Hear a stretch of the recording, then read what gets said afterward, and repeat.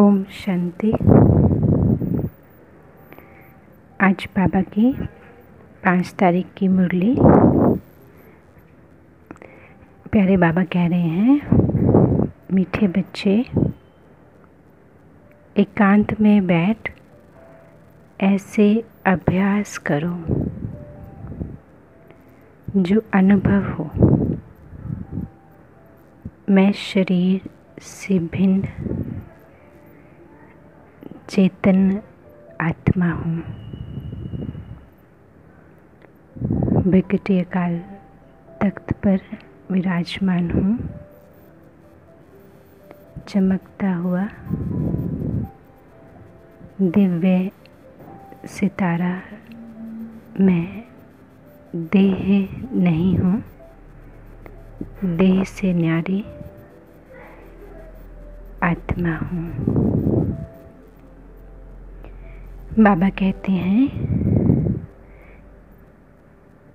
मीठे बच्चे एकांत में रह गए। एकांत में बैठ।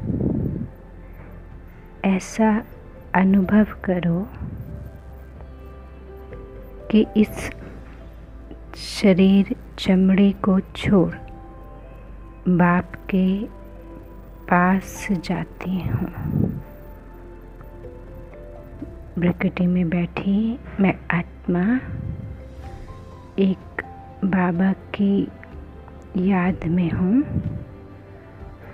एक बाबा मेरा संसार है और देह सहित जो भी सब है, वो सब कुछ बाबा का है।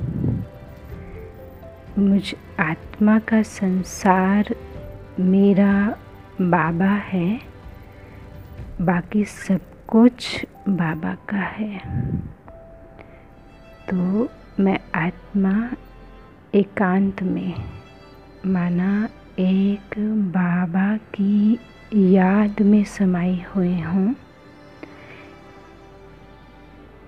और इस विज़न को क्रिएट करेंगे। कि मुझ आत्मा के अंतिम घड़ियों में, इस जन्म के अंतिम घड़ी में मैं आत्मा ने एक बाबा की स्नेह भरी याद में इस चमड़ी को छोड़ बाप के पास वतन में गई बाबा कहते, बैठे बैठे। बाबा की याद में आश्चर्य हो जाओ। बस मैं आत्मा और मेरा बाबा।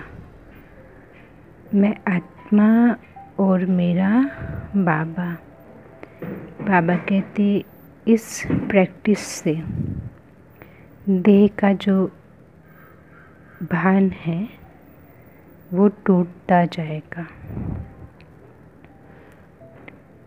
बाबा की मुरली में आज मुख्य अभ्यास है, अपने को आज शरीरी समझो, अपने को आत्मा समझो और बाबा को याद करो और शरीर का भान छोड़ो।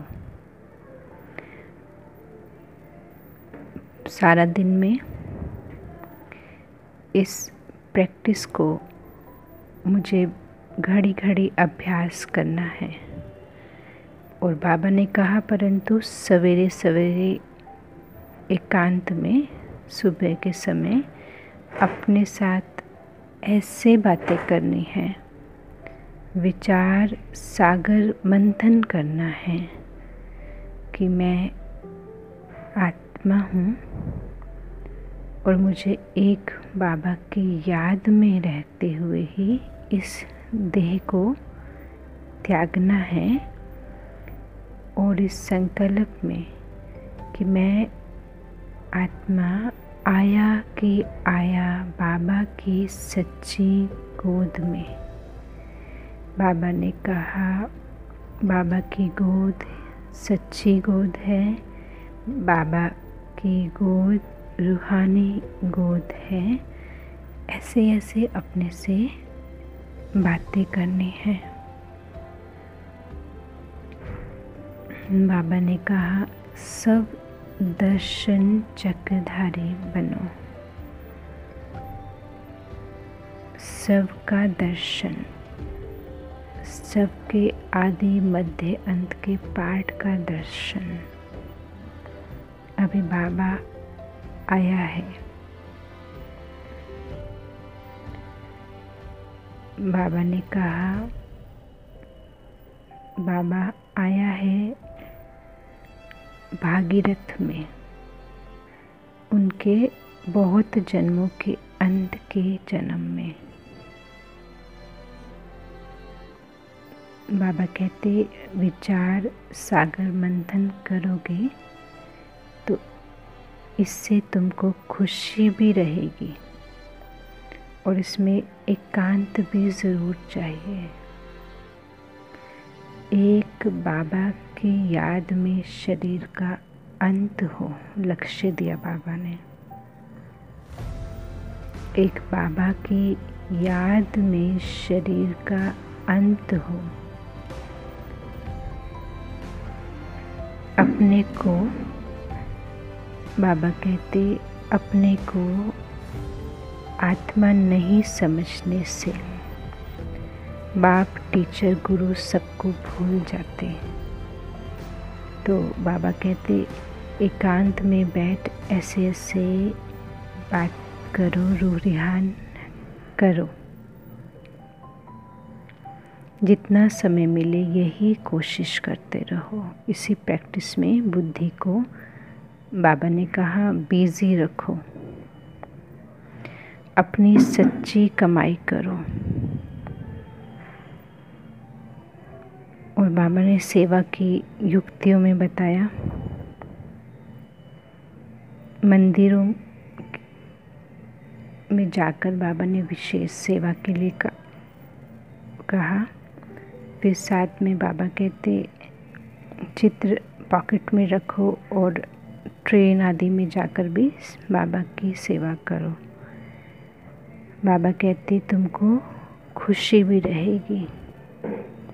और फिर बाबा ने कहा, जो निंद्राजीत बनना है तो जब कमाई बढ़ती जाएगी, खुशी बढ़ती जाएगी तो बाबा कहते कि आप आपको नींद को जीतना भी आसान, सहज हो जाएगा। और सवेरे उठकर बाबा को याद करेंगे।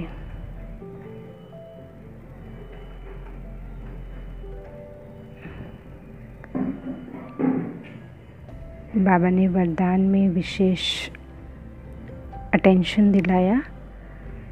भिन्नता को मिटाकर एकांत लाने वाले सच्चे सेवाधारी भव। बाबा कहते हैं कि ब्राह्मण परिवार की विशेषता क्या है? विशेषता यही है, अनेक होते भी एक हैं। फिर बाबा ने कहा कि आपकी जो एकता है वो ही सारे विश्व में एक धर्म, एक राज्य की स्थापना के निमित्त बनती है। इसलिए बाबा कहते हैं कि विशेष अटेंशन देना है, भिन्नता को मिटाओ, एकता लाओ। तो बाबा ने कहा, आज वही सच्ची सेवाधारी हैं। सेवा स्वयं प्रति नहीं, लेकिन सेवाधारी जो हैं, उनकी सेवा सर्व प्रति रहती है। स्वयं का सब कुछ सेवा प्रति स्वाहा करते हैं। कैसे करना है? जैसे साकार बाबा ने सेवा में हड्डियाँ भी स्वाहा करी हैं। तो बाबा कहते, ऐसे आपकी हर एक कर्मेंद्रियों के द्वारा सेवा होती रहे। नैनों द्वारा, मुख द्वारा, हाथों द्वारा, हर कर्मेंद्रियों के द्वारा सेवा। जिसका विशेष आधार है बाबा की याद। स्लोगन है, परमात्म प्यार में खो जाओ। परमात्मा के प्यार में खो जाओ तो दुखों की दुनिया भूल जाएँगे।